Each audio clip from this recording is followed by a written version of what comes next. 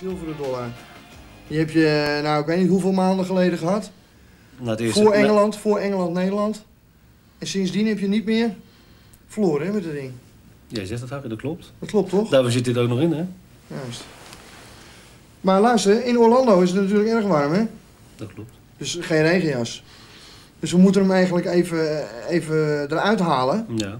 En dan even in een Colbertjasje van jou eh, stoppen. Maar wanneer wil je dat doen?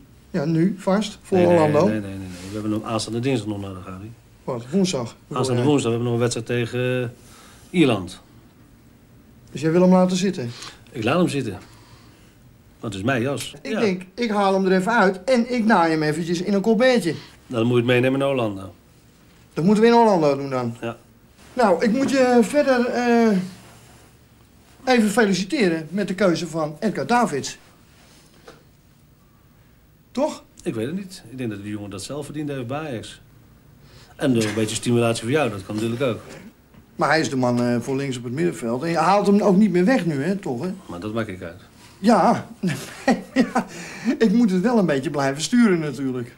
Je mag hem blijven sturen, maar hij moet het zelf doen en niet jij. Hij is nog niet jouw definitieve keus voor links op het middenveld. Dat moet je bewijzen.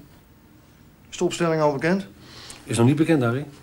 Nou, Maar die eh zet jij vanavond al wel even, even neer. dan niet? moet ik hem raaien al.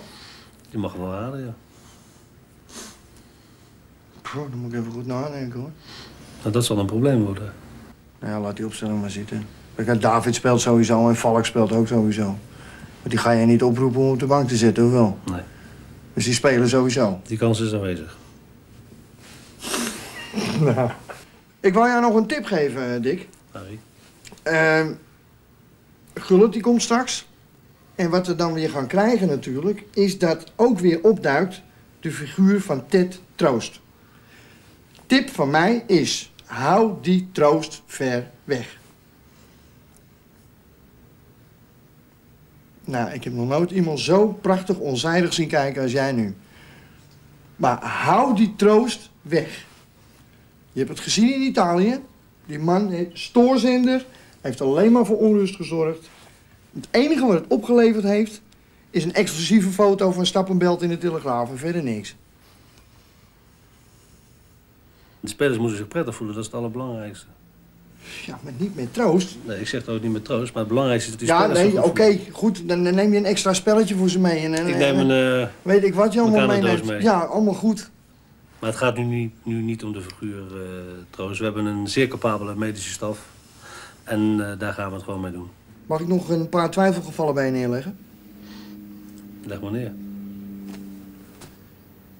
Is het Blind of Koeman? Dat is een stomme vraag, vind ik een stomme vraag.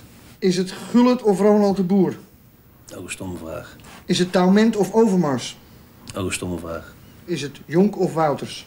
Ook een stomme vraag. Want je, je weet dat ik daar toch geen antwoord op geef. Jij weet ook, net zo goed als ik, dat die discussies worden gevoerd natuurlijk Ja. op straat. In de cafés, mensen onder elkaar. Omdat Nederland altijd van het volk is. En dat, Ja. en dat is ook het leuke ervan. En Bergkamp zit eraan te komen. hè? Die ontwikkelt zich goed, hè? Toch? Dat moet jou toch... Ja, dat doet me deugd.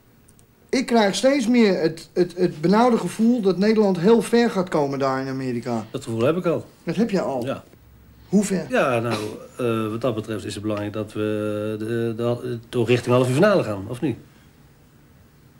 Daar reken jij op. Daar reken ik op, ja.